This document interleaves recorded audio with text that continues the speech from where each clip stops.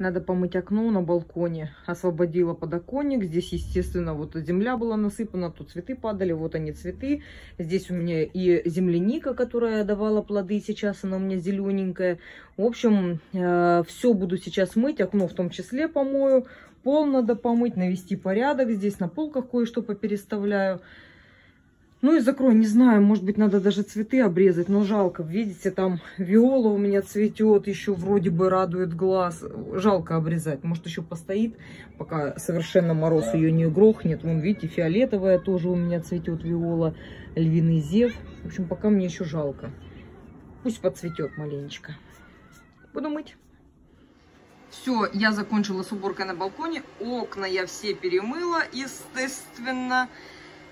А эти цветы попереставляла, пообрезала некоторые, потому что были сухие. Вот, кстати, вижу сухой лист, как я его не заметила.